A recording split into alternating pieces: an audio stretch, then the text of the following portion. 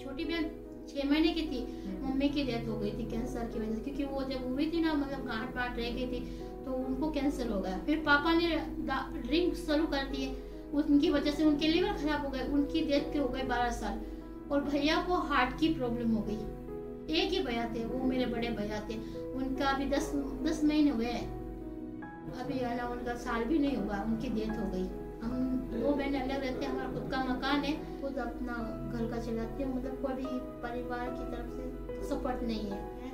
मतलब यहाँ आते हुए मुझे हो गए बारह साल। मतलब इसमें से मैंने ये जो प्रोडक्ट जो भी बने हैं ना, ये सब मैंने सीखे हुए और बनाए हुए कच्चे देखे, बाहर से ऑर्डर आते हैं। एक तो ये चीज़ है कि यहाँ मतलब ऐसा लगता है कि जगह मतलब अपना खुद का घर है।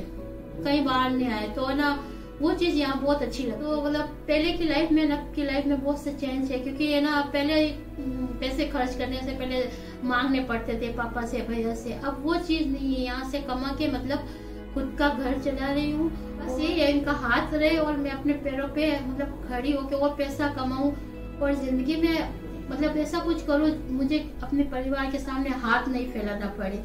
और मैं अपनी बहन को बहुत अच्छा मतलब फ्यूचर सेट करना चाहती हूँ, जो मेरे मम्मी पापा नहीं कर पाए, मैं उसके लिए करना चाहती हूँ।